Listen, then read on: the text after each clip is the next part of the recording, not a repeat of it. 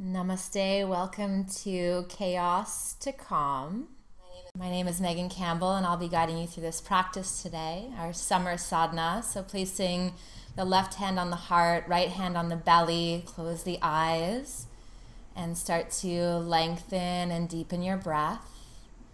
Breathing into the hand on the belly, and then the hand on the heart. So, in the summer months, we start to work with our small intestine and heart as the organs of summer, of fire.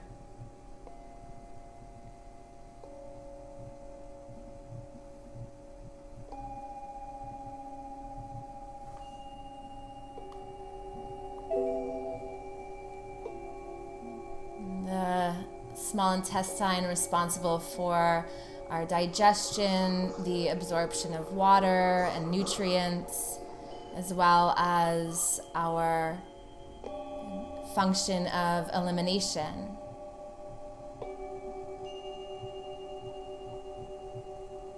The heart meridian governing over our speech, our adrenals, our thyroid, pituitary gland, our blood as well as the small intestine. Both meridians start in the hands and run up the arms, front and back. So, as you open your eyes, we'll be working with these energy lines throughout the practice. So, extending the left leg out, you can rest a block under the knee if you'd like. And taking the right arm up, let your right knee fall over and tip over to the left. And you can place your elbow on a block if you'd like. You can bring it to the inside of the leg, but just really let yourself hang out, spinning the belly and the chest up towards the sky. You might even look up or maybe down, whatever feels best for your neck. And my per- personal favorite, resting my head in my hands.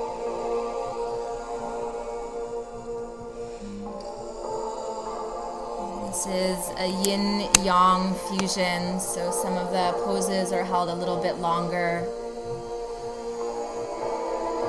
Just looking for a stretch here through the side waist, maybe up into the bicep, down the tricep. Letting the fingertips drip.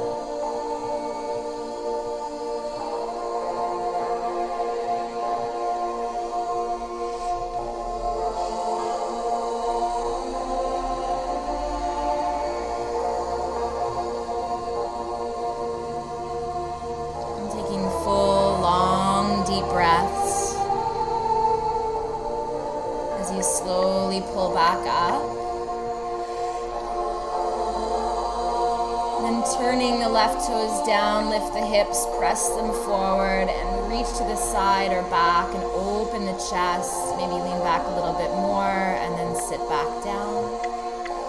And switching sides, so pull the left foot in, right leg out. And again, you can rest your knee on a block if your hamstrings are cranky. You can even bring it to the inside of the leg. Taking the left arm up, tip your body over to the right settle into this side, getting comfortable. Spin the belly and the chest up. Look where you need to.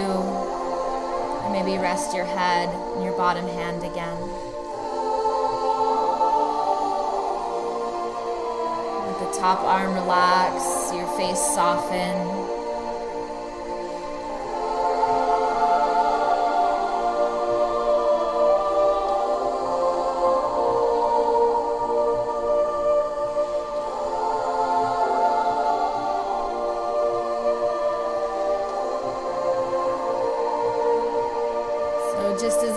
Season is associated to the fire element, brings blossoming and maturing, the flowering of all the seeds that we planted in the spring. Love is the blossoming of the human being. It's really who we are when we're in full bloom.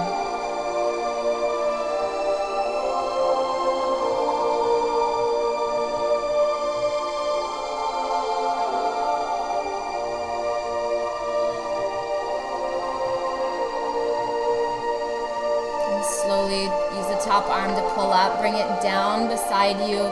Turn your right toes down and then lift the hips. Stretch to the sides of the waist, or if your back is healthy, maybe lean back and open the chest. And then softly place the hips down. Draw in the left knee. And then turn onto your hands and knees so you're in table pose. You can also do this on the forearms if you need to. Sliding the left arm over to the right. Take your right arm up to the sky or maybe back behind you, looking for your left inner thigh. And energetically pull the shoulder blades together behind you and start to take some deep breaths into the upper back, the front chest. Both meridians for small intestine and organ run through the heart center into the diaphragm. And bringing the right hand to the earth, crawl back up onto the left hand and then reach it up if you can. And then gently spin the right foot out to the side so you're on the shin. Extend the left leg, heel down so you're in a modified side plank. Pressing down into the bottom hand, reach up through your top hand.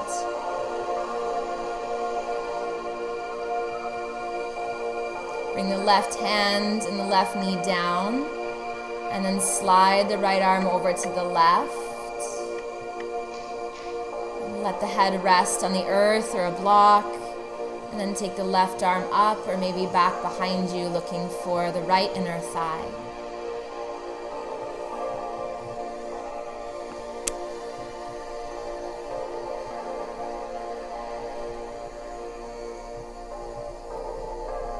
We don't feel love anywhere more deeply than we do in the heart, associated with warmth laughter, enthusiasm, and love. These are what we experience when the blood and energy is flowing freely into these spaces and places. So then taking the right arm up, turn the left toes parallel to the top of your mat, extend the right leg straight, turning the right toes down, and then start to reach up through your right hand really fully and powerfully. Maybe looking up. And then slowly taking the right hand down to the earth. And then the right knee back into table pose and sliding the left foot forward between your hands. So you're in a low lunge, lift up onto the fingertips, lengthen through your low back, pulling the heart forward. If your low back is healthy, crawl up onto your left thigh. And then take your hands behind you in reverse prayer. And you can do this fingers pointing up, fingers pointing down, or taking opposite elbows. Letting the hips soften without collapsing into your low back so the low belly is lifting. Draw the elbows and the shoulders back, intending the heart up. Set the gaze forward softly on an unmoving point.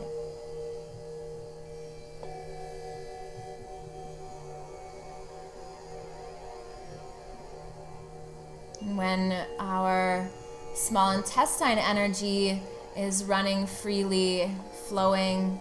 You can experience healthy expressions of love and joy and warmth and vitality and excitement.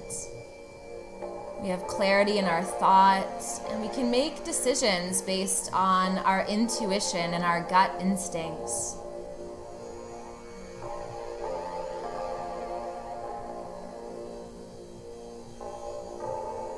Keep breathing into and from the heart.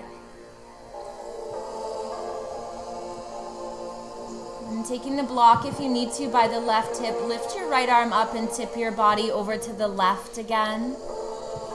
You can also just leave your hand on the hip or bring it all the way down onto the ground if that's available. Belly and chest stay open to the sky. And Breathing into the right side waist.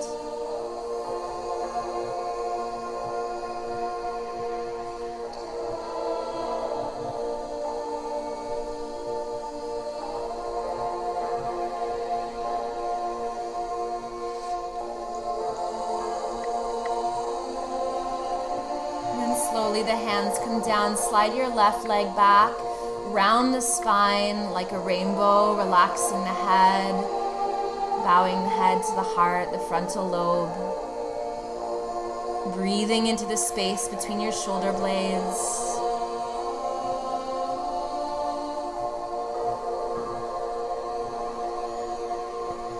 The small intestine meridian runs into the back of the shoulder blades.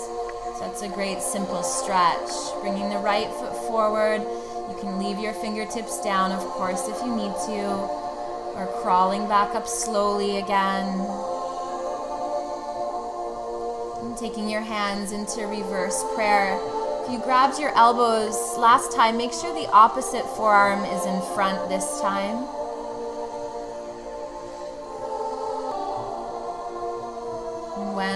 Heart meridian energy is flowing freely.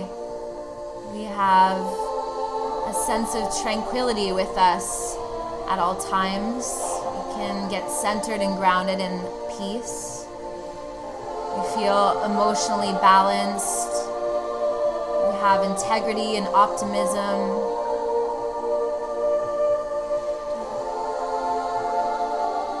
discernment is at its peak. And we have inspiration and creativity, not only in life, but for our spiritual growth. Knowing what will help us progress along the path.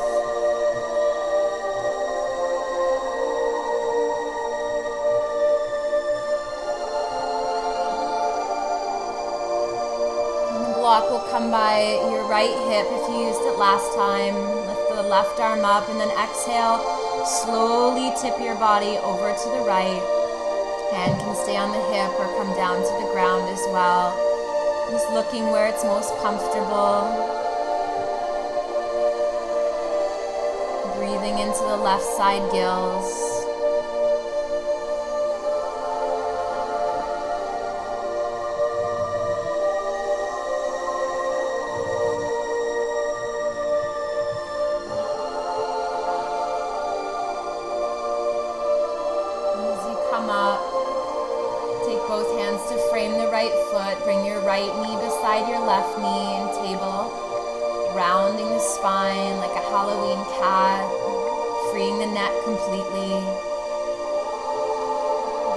Back of the heart.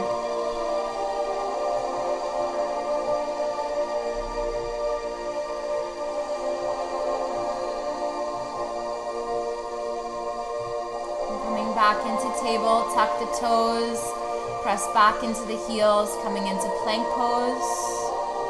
You're more than welcome, of course, to bring your knees back and down, but just charging up the energy into our arms here.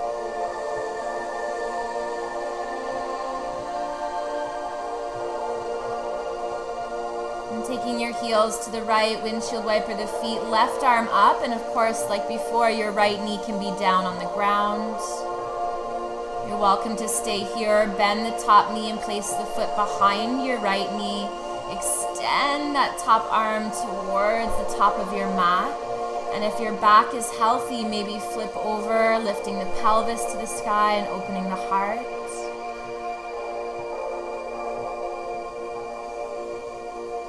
Slowly bring the left hand down, left foot to the ground into plank.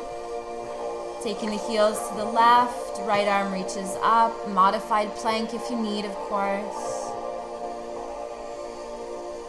And bending into the right knee, step it behind your left leg, stretch through the side of your waist. And if the back is healthy, maybe arc back, opening through the heart powering up through the arms, the meridians in the hands. And then slowly bringing the left hand down, right foot to the ground, knees come down and lower onto the belly. Be mindful here as you bend the arms, excuse me, extend the arms out to the side, put the forehead on the earth.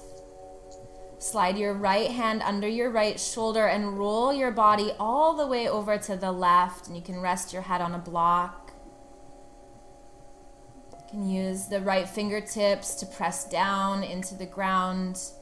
Even bend the top knee, bringing it down, letting the knee fall open. This is a very deep twist, so be mindful. The left palm is still down and the arm is in line with your shoulder.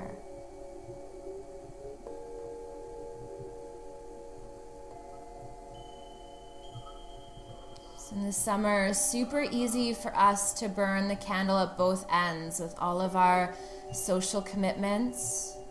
Rolling back onto the belly, extend the right arm out. Slide the left hand in and roll your body over to the right. All the same options apply. So, doing what you need to do here to get comfortable. Head is relaxing on the ground or a block. So, this practice, keeping the fire burning, but really focusing on shifting to replenishing and nourishing and inspiring the flow of energy so that we can release any that is stuck or trapped or sluggish.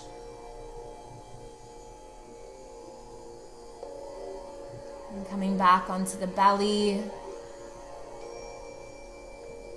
Gonna bend into the knees, take your hands back and grab the inside or outside of your feet, whatever you can reach. If not, just interlace the fingers behind you or take your elbows and forearms again. Press the pubic bone down, lengthen the back of the neck, and as you inhale, press your feet into your hands and reach your toes up to the sky. And then rock on the belly a little bit to massage and strengthen into the diaphragm where these meridians meet. Just a little bit, or maybe a lot, depending on what feels best in your body here. Stoking the fire, super energizing pose, Dhanurasana. Make sure you're breathing fully and deeply. Exhale to release. Bringing the hands under the shoulders, inhale up onto the hands and knees. And as you exhale, find child's pose, forehead on the earth or a block. Slide the hands forward, lift onto the fingertips, and energize the arms.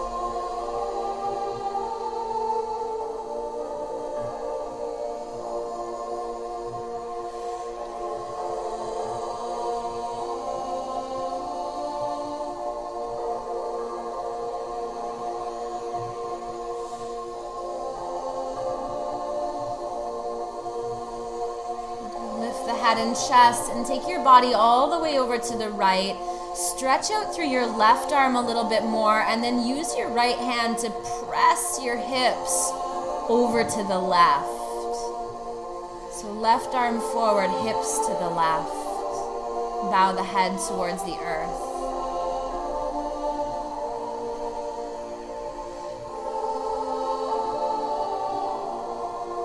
Walk your body all the way over to the left reaching out through the right arm, pressing into the left hand to move your hips over to the right. Relaxing through the brain, head the, is nice and heavy.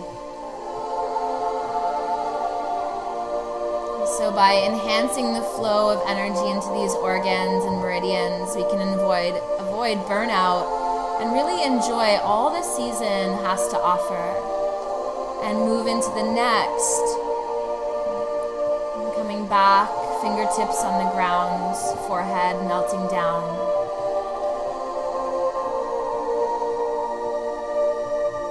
And let your palms rest and your elbows relax.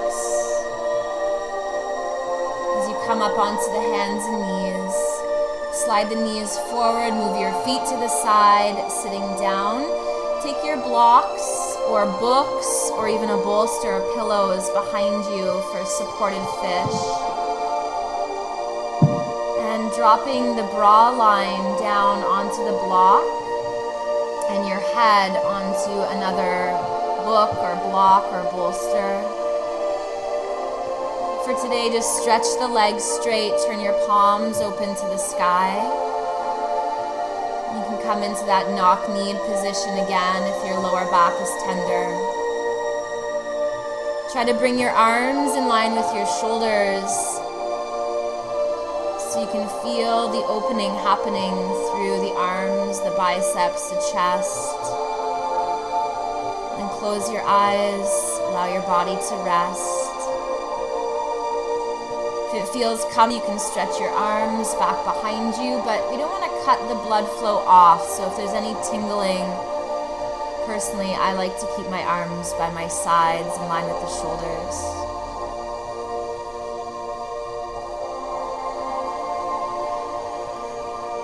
So, my hope is that this practice will support you in lighting your creative fire, leaves you feeling inspired and replenished in your energy.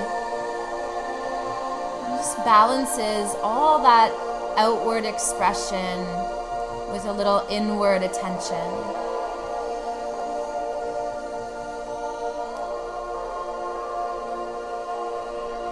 Breathe into and from the heart here. Feel the belly expanding and contracting.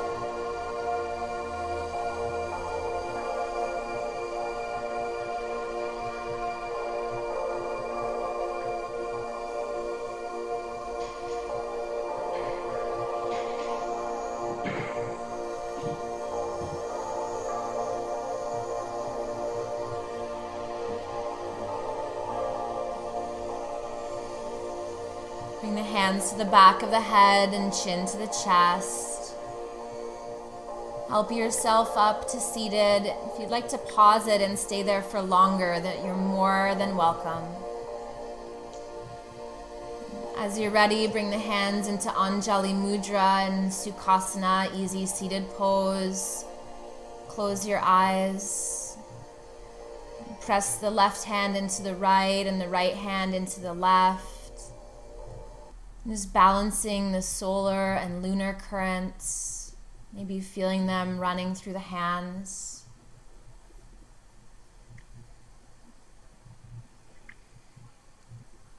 In a moment of gratitude, bringing the thumbs to the forehead.